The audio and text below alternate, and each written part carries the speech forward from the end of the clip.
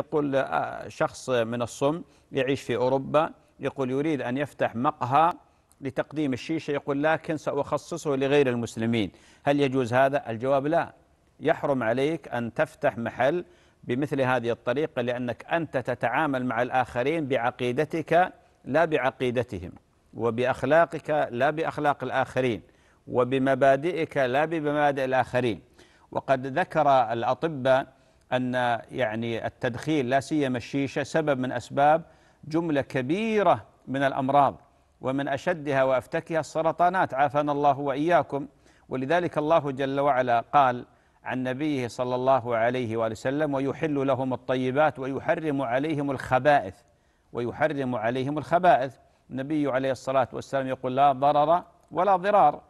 وأيضا جاء في قول الله عز وجل ولا تقتلوا أنفسكم إن الله كان بكم رحيما ما يدل على هذا المعنى. ولذلك فيه وفيات يعني بأعداد كبيرة جدا بسبب مثل هذه مثل هذا التعاطي للشيشة. ويذكرون الآن بأن أكثر الناس إصابة في كورونا هم المدخنون. لماذا؟ لأن الجهاز التنفسي عندهم غير سليم. والفيروس هذا لما يدخل إلى الجسم يختار أضعف عضو في الجسم ويضربه نسأل الله العافية.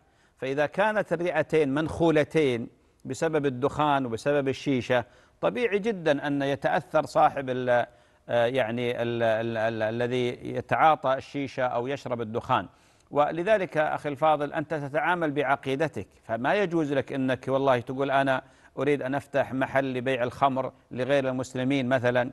أفتح شيشة لغير المسلمين. تتعامل بعقل لأنك أنت تكسب من من هذا الشيء ويجب على المسلم في أي مصر وفي أي عصر وفي أي زمان وفي أي مكان أن يختار أشرف الوظائف وأشرف التجارات وأشرف الحرف حتى يغذي نفسه وزوجته وأولاده ومن يعول الرزق الحلال الطيب.